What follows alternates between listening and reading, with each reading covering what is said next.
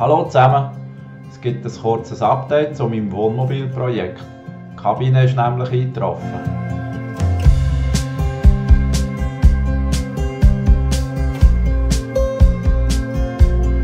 Die Kabine steht schon auf dem Fahrzeug, um zu schauen, wie es aussieht.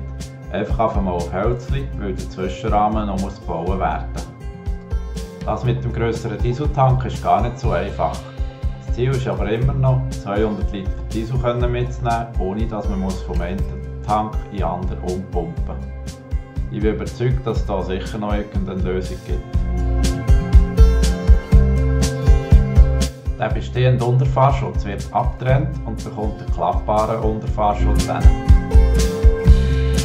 Für zum Filmen ist es ein bisschen eng in dieser Garage, aber ich hoffe, man sieht gleich ein bisschen, wie es kommt.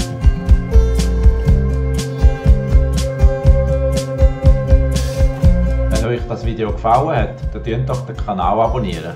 Dann werdet ihr informiert, wenn es neue Videos gibt. Tschüss zusammen!